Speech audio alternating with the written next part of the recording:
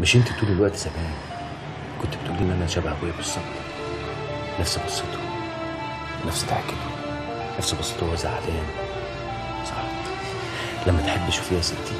ويوحشك. بصي. لي في النور بتاعت زمان اللي كانت ضحكتها بتنور بالكل كلمتين بتقولهم. خلاص يا عادل أنا تعبت. مش قادرة أمثل أكتر من كده. أنا هيتقال لي لأ يا صغير في إيه يا حسن؟ وإيه اللي في إيه؟ ما تفوق. فوق أيوه تفوق. وحشتيني ياما. وحشتيني وحشتي ساخدك فيا بالكوع. أيوه أنا كويس قوي منصور بيه ده طلع آه، راجل محترم وجدع. صاحبك ممتاز. جه من كام يوم وقفنا كلنا هنا صف واحد. وقال لنا إن في شحنة مكن جاية من بره على المصنع هنا. تجميع وتركيب في إيد الخواجة. بس الصيانة على إيد الرجالة في المصنع هنا. عشان كده عايزين يصفونا. طب وايه علاقته يعني؟ مش المكن ده ليه توكيل؟ يعني لو حصل أي حاجة يبعتوا توكيل يصلحها مالنا إحنا مال السكة دي؟ يابا توكيل مين يابا؟ تف من بقك. هم عايزين الحكاية دي تخلص على إيد الرجالة في المصنع هنا. بس بقول لك يا أبو علي تعيينات إيه؟ وفلوس إيه؟ والدنيا حلوة خالص في المرتبات. وحظك حلو أنت لسه جاي. ربنا يكتبها لك يا صاحبي. ربنا يكتبها لي آه مش ينفع أمشي المصنع غير لما أعدي على سيادتك في المبنى الأول. طب اقعد واهدى. ما كنتش متصور إنك هتجيلي بالسرعة دي. ما سعادتك اللي امرت بكده لو شفت أي حاجة غلط أجي أبلغك على طول. وده مش غلط دي مصيبة يا باشا. مصيبة؟ مصيبة إيه بقى؟ مصيبة إيه؟ يا باشا المواصفات مش مطابقه بيستغلوا اسم سعادتك. الحاجة اللي المفروض يشتروها بقرش بيشتروها ب 100 امم وأنت بقى من وجهة نظرك شايف إن ممتاز هو الوحيد اللي مشترك في الحكاية دي ولا في حد تاني معاه من الإدارة؟ حد تاني زي مين سعادتك؟ يوسف حفني مثلا. لا يا باشا. يوسف حفني إيه؟ يوسف حفني ما يعرفش حاجة عن الموضوع. إزاي بقى؟ إزاي؟ ده اللي أنت بتقوله ده في صميم شغله. يا باشا اللعب كله جاي من ورا ممتاز والناس اللي حواليه. هم المسؤولين عن تحديد الكمية وشيت المواصفات. يعني في سمسارة واضحة ما بينهم. بعدين اللي اسمه يوسف حفني ده بعيد خالص؟ ملوش علاقة. مش قادر أتخيل. ممتاز. ممتاز. ده بقاله خمس سنين شغال عندي. من أكفأ الموظفين ما غلطش غلطة واحدة. الله. طب ويعمل كده ليه؟ ويا ترى بقى في حد غيرك عارف بالموضوع ده؟ باشا ورحمة أبويا أنا مالية مصلحة من ورا كل ده بس أنا عهدت سعادتك. أي حاجة غلط هبلغك على طول. بعدين اللي اسمه ممتاز ده أنا ما عمليش حاجة ولا بيعاملني وحش بس برضه الحق حبيب الله. أوكي. أنا مبسوط منك على فكرة. وعشان كده ليك عندي مكافأة كبيرة قوي. يا باشا ربنا يخليك مكافأة أنا ما عملتش حاجة أنا بس بعمل. عارف عارف. عملت اللي يمليه عليك ضميرك. وعشان كده هتاخد المكافأة. ماشي يا باشا اللي تشوفه سعادتك. تقدر تتفضل انت. أنا هبشر الموضوع من عندي هنا ما تقلقش. ماشي باشا على سعادتك. اتفضل.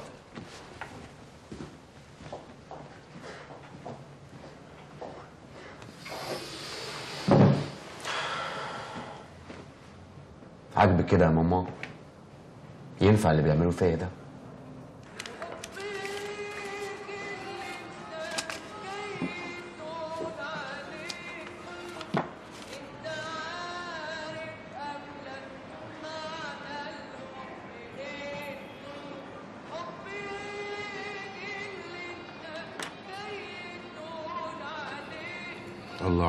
الرومانسية يبقى هي دي اللي واخداك مننا؟ بس أمورة إيه؟ في إيه مالك؟ اقعد ساكت يعني اقعد ساكت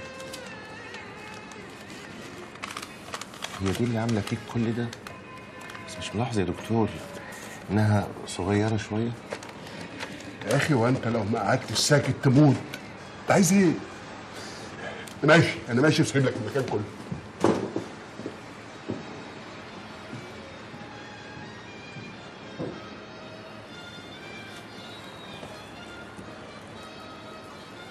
سيكو تعال تعدي على أمن الجامعة وتعدي على ضابط شرطة تظاهر غير سلمي تعدي على الطلبة تعطيل الدراسة تخريب منشآت عامة. شكلك بقى وحش قوي يا سمية. شكلك هتعيد السنة دي والسنين اللي جاية كمان. قال يعني محتاج الليسته الطويلة دي عشان يلبسنا قضية. مساء الخير يا مراد باشا. أهلا حازم باشا. إيه ده حازم اتفضل يا باشا. وبنفسك تعبت نفسك ليه بس؟ الحق يتقال أنا سبت موضوع الجامعة ده من زمان. بس لما عرفت بقى إن الموضوع فيه إسلام وسمية قلت لا. ده أنا لازم أجي بنفسي ما تقوليش إنك سايب مكتبك في الدقي وجاي مخصوص عشان ترفع لنا الكارت الأصفر وتحن علينا وبيتنا الليلة في سرايرنا. لا لا لا لا لا. كارت أصفر يا راجل. أنا متأكد إن مراد باشا رفع الكروت دي من زمان وكتير قوي وظبط الدنيا معاكم. وأنا جاي عشان حاجة تانية خالص. بس أنت صح. هتنام الليلة دي في سريرك. ومش حنية. ده بعد إذنك يا مراد باشا. تؤمرني يا حازم باشا. واضح آه، إنك بقيتي مجتهدة قوي السنة دي وعايزة تنجحي. ده بعكس السنين اللي فاتت كلها. عشان لما دكتور كبير زي جلال عرفان هو اللي يتوسط لك ويتدخل في الموضوع ده بنفسه. يتوسط لكم يا سيدي. تمام؟ keep up the good work مش بتقولوها كده برضو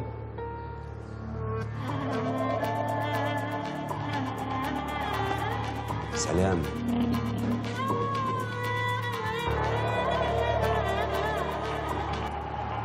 اتفضل يا باشا اتفضل يا باشا. مش عاوز قرف المرة دي كمان بليز حاضر يا باشا حاضر والله العظيم حاضر. اتفضل. إيه ده؟ مفيش شلتة؟ لا مؤاخذة يا سيدي. لا مؤاخذة إيه معلش. أوعى. اوعى ماشي ماشي يا باشا. جاتكم القرف في أشكالكم. لازم أعمل كل حاجة بنفسي لازم. خش يا ولا خش. اتفضل يا صلاح بيه شكرا يا سمكة. ها هنقضيها قرف؟ قرف ليه بس يا صالح بيه والله العظيم ثلاثة إحنا بقالنا 10 سنين ما صدرش مننا أي حاجة. ومفيش شحنة لأكرم باشا سواء داخلة أو خارجة تتأخر عن ميعادها. غير كده بره مسؤوليتي. بص كل الناس اللي في المينا هنا مسؤوليتها إن شغل أكرم بيه يمشي لأن غضبه لما بيهب بيهب على الكل. وبدون استثناء. مفهوم؟ مفهوم يا باشا. إيه. الفل يا زين صباح الفل يا صالح بيه. أهلا سي حسن. إيه؟ عرفت بالقرار فقلت أجي المينا راجع في دفاتري القديمة ولا إيه؟ قرار إيه؟ آه. واضح إنك ما تعرفش. في قرار إداري بفصلك من المصنع.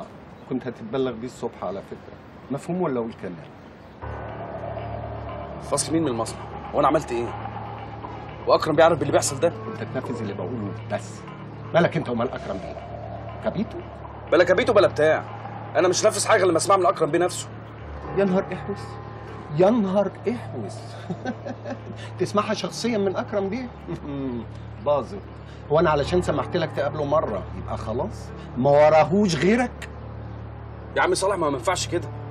يا عم صالح ما هو؟ باظت وخربت. باظت. هقول لك كلمتين حطهم حلقة في ودانك.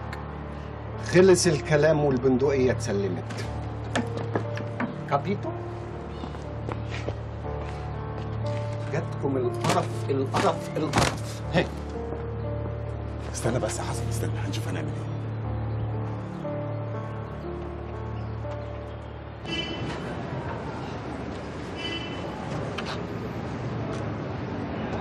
ذكرى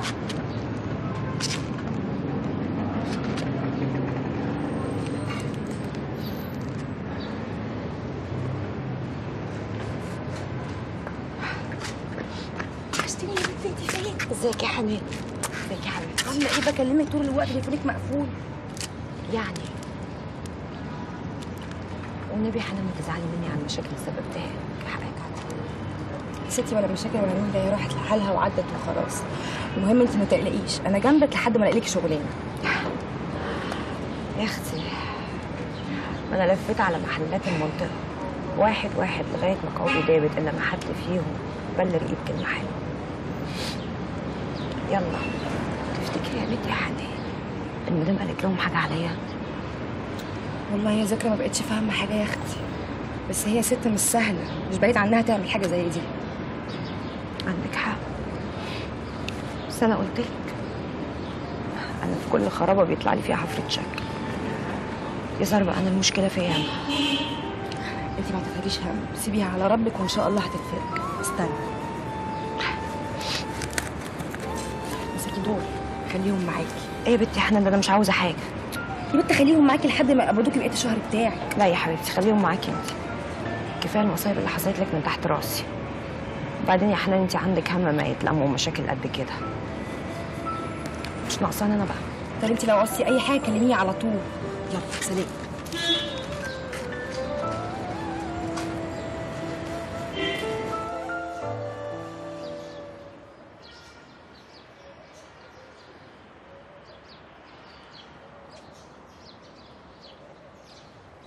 سلام طلع. على فين يا أستاذ؟ أنا شغال في المصنع بتاع أكرم بيه. والله عندي تعليمات ومنع دخولك هنا. أيوه ما أنا عارف ما رحت المصنع برضو بتاع أكرم بيه قالوا لي كده. هقابله بس ثواني. يا فندم دي أوامر عندنا. ممنوع دخولك هنا. طب باشمهندس يوسف موجود؟ من فضلك ما تقطعش أكل الله يخليك. اتفضل مع السلامة. قول له بس قول له. حسن رشيدي موجود بره. بلغه بس. ابقى بلغه أنت بطريقتك الخاصة. يا سيدي اتكلموا على الجهاز بلغه. من فضلك يا أستاذ. يا عم مش تخسر حاجة. من فضلك. ما تقطعش أكل عيشتك اتفضل يا أستاذ. يا سيدي هقابله ثواني. اتفضل يا أستاذ. اتفضل يا بيه.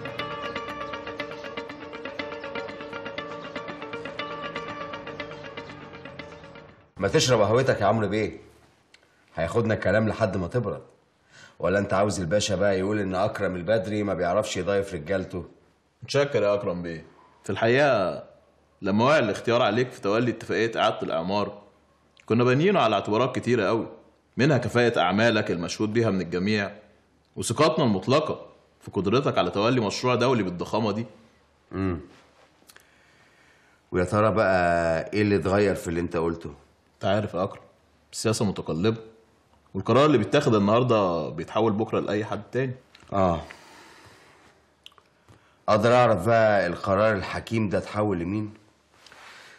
أصل ما أعتقدش إن المواصفات اللي أنت قلتها تنطبق على حد في مصر غيري. لا في. مصر مليانة رجال أعمال مجتهدين غيرك برضه يا أكرم بيه. مين يا عمرو بيه؟ عادل الراوي عادل الراوي.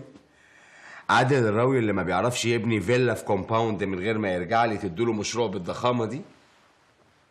أنتوا أكيد بتهزروا. هي الحكومة دي هتفضل عبيطة وتافهة لحد إمتى؟ إمتى هتعرف حجم مسؤولية البلد اللي هي شايلاها؟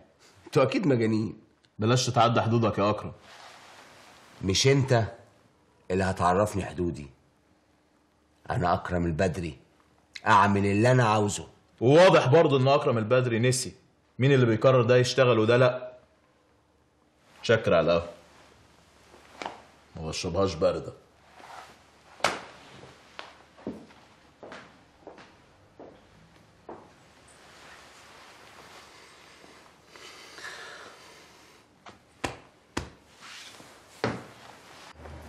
طبعا الفل يا حاج حسن حسن. مزيك روق يا عم وصلي على النبي. أكل العيش ده نصيب ونصيبك لحد هنا. هتعمل إيه يعني؟ كله خير إن شاء الله. هيجي منين بس الخير؟ لا سكة الغلط نافعة ولا سكة الصح موصلانا لحاجه يا زيك. طب ما حاولتش تكلم الراجل اللي جاب لك الشغلانة؟ آه يمكن يكون له صرف. حاولت مليون مرة. مرة ما بيردش ومرة قافل تليفون مش عارف أعمل إيه. طب اهدى اهدى وصلي على النبي. إن شاء الله اللي في الخير يقدمه ربنا. والله يا صاحبي أنت عارف أنا لو في إيدي حاجة كنت عملتها. بصراحة زيك انت في إيدك. لو على المينا يابا. هي المينا بس مش اللي في دماغك. أنا رجلي اتقطعت من المينا من ساعة ابويا الله يرحمه خلاص. الله يرحمه. امال إيه؟ في شحنة جاية من بره على المصنع. الشحنة دي عشان تعدي لازم تعدي عليك الأول. تتفحص وبعديها بكام ساعة تطلع من الجمارك.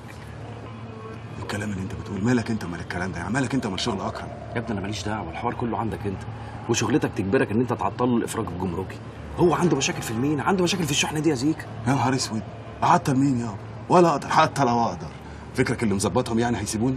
ده مش بعيد يطردوني منها زي ما عملوا معايا. يا ابني ما تقلقش أنا مظبط الدنيا. وشفت الورق كمان بعناية الموضوع كله في المواصفات. كلها شوية حروف على شوية أرقام.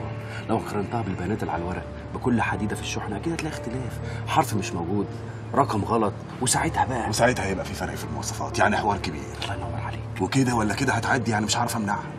يا سيدي ما بقولكش أمنعها. أنا بقول لك عطلها بس كام يوم لحد ما أقول لك أمين يا أخي. حسن أنت بتلعب لعبة كبيرة. أنت شفت بنفسك صالح الزفت ده وهو بيوصينا على الشغل. يعني لو حاجة زي دي حصلت مش أنا بس اللي هروح في داهية لا.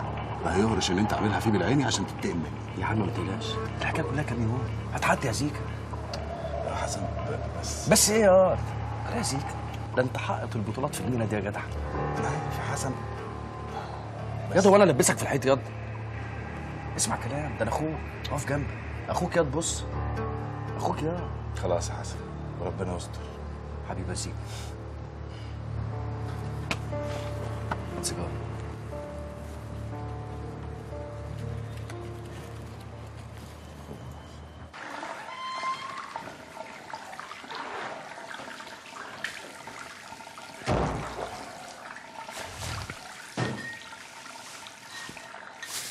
إيه؟ ما جيتش المستشفى ليه؟ مش عايز أشوف حاجة وكده كده لو غبت الاساتذه هيرتاحوا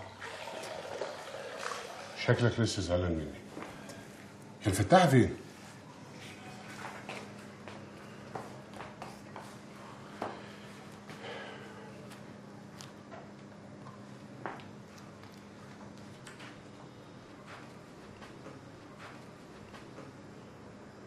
عارف مين دي؟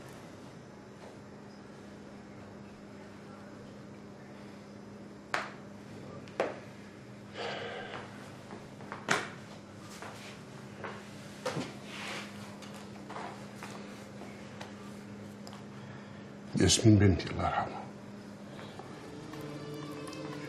اليوم اللي أنا غبت فيه على المستشفى وقلت إني تعبان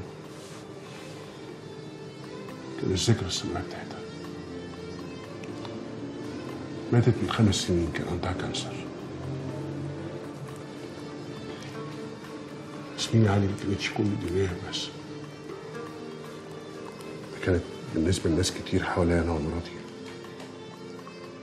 مصدر للفرحة والأمل بالحياة. كنت ببقى قاعد قدامها اتفرج عليها وأنا عاجز رغم خبرتي الكبيرة في الطب. خدت معاها أي رغبة بالنسبة لي في الحياة.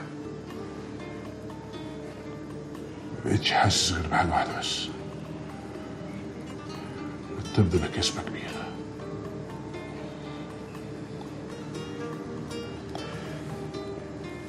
إحنا اكتشفنا المرض متأخر.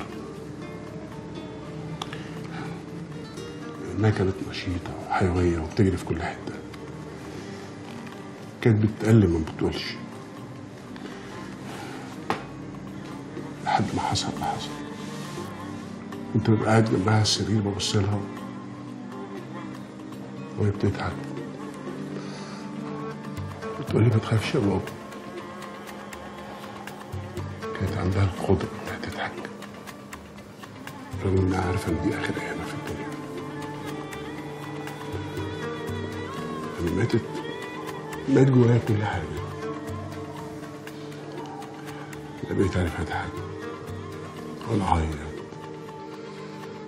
ولا أعمل أي حاجة. كل الأحاسيس اللي جوايا ماتت.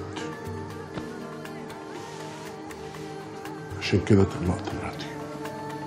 مش عايز أعذبها معايا. أنا آسف يا دكتور سامحني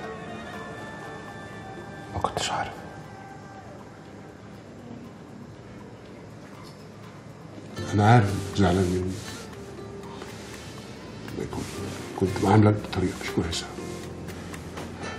بس صدقني كان غصب عني غصب عني علي. ما تقولش كده يا دكتور. أنت بالنسبة لي مش دكتور. أنت أب وأخ وصاحب.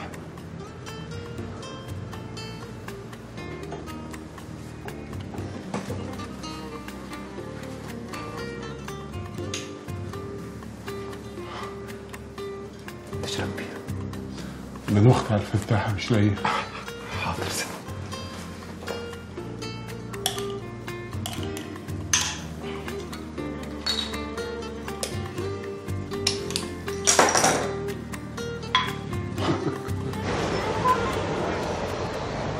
ريع سوس. هتفضل مخبي وشك وتلف حواليك يمين وشمال. ما تشغلش بالك يا نورس. وبعدين أنا قلت انزل أتمشى معاك عشان تروق. تروق؟ لو انت مش هتحل كل حاجة كنا ننزل كل يوم بقى نتمشى. خليها على الله. نادية. بتعمل إيه؟ يا نادية. حسن الحمد لله على السلامة. جيت إمتى؟ الله يسلمك. لسه راجع. عاملة إيه؟ الحمد لله. خد يا عزوز. ما تيجي يا ابني؟ عزوز صاحبي. نادية. نادية أختي الصغيره أهلا لسه نادي جاي في حياتك ولو إنها متاخر حياتك الباقية متشكرة قوي انت بتروح فين ولا حاجة. نزلت اتمشى شوية ومروحة على طول والله. طيب تعالى أوصلك قبل أروح مشاوير أنا كمان. يلا. تعالى عزوز معايا نوصلها لا أنا هروح. ما تيجي معايا؟ يا لا السلام عليكم. سلام. الحمد لله على السلامة. الله يسلمك. عاملة إيه؟ الحمد لله.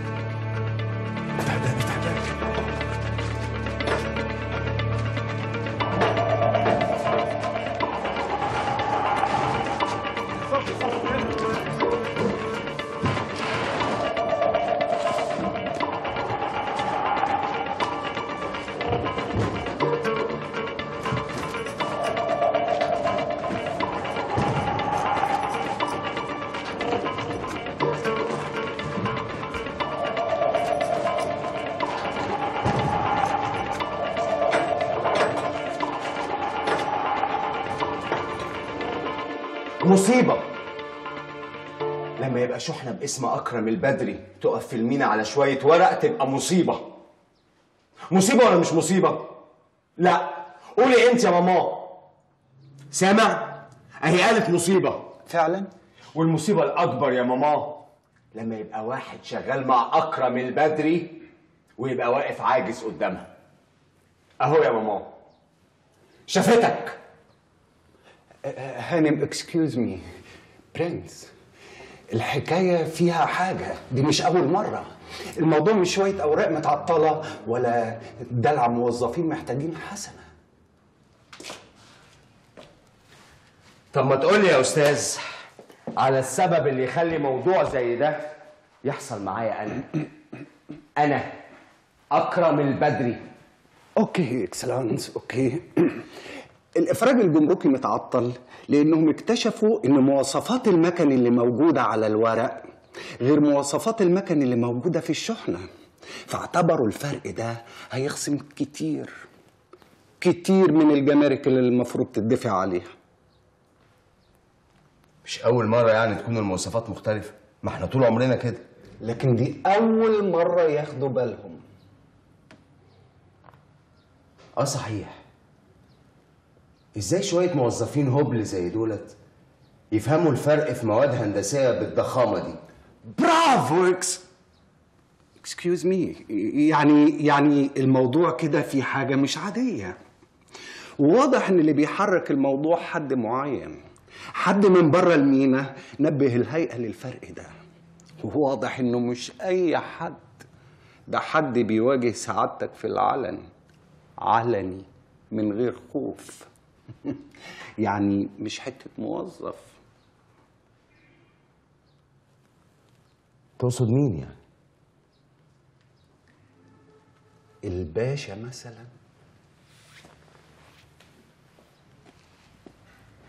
الباشا. امم انت اهبل يا صالح. أهبل. متخيل إن الباشا بالتفاهة دي عشان يعاقبني بوقف شحنة في المينا؟ أوكي. بلاش نقول الباشا شخصيا. ممكن يكون حد صغنن بيشتغل معاه. وسعادتك علمتنا إن الصغننين لما بيضربوا بيضربوا تحت الحزام.